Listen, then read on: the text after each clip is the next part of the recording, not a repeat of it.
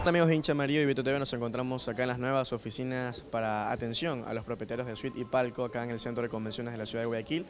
Y bueno, estamos justamente acá junto con el señor Ernesto Serrano, gerente general de Barcelona Sporting Club. Estamos acá dialogando con él para bueno, Quintana es una duda importante, que era con el tema de Moconza, ya va a salir esta empresa y ahora hay que saber cómo va a ser el ingreso de los propietarios en suites y palco. ¿Cómo está, don Ernesto? Cuéntanos un poquito acerca de esta novedad. Bienvenido a Hincha Amarillo. Sí, muchas gracias por la, apertura. Buenos días.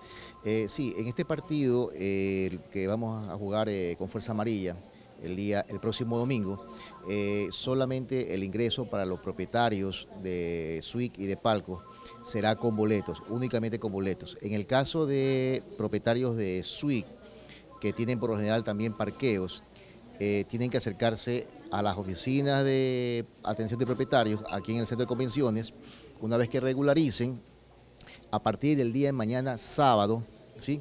tendrán que retirar eh, sus boletos de ingreso.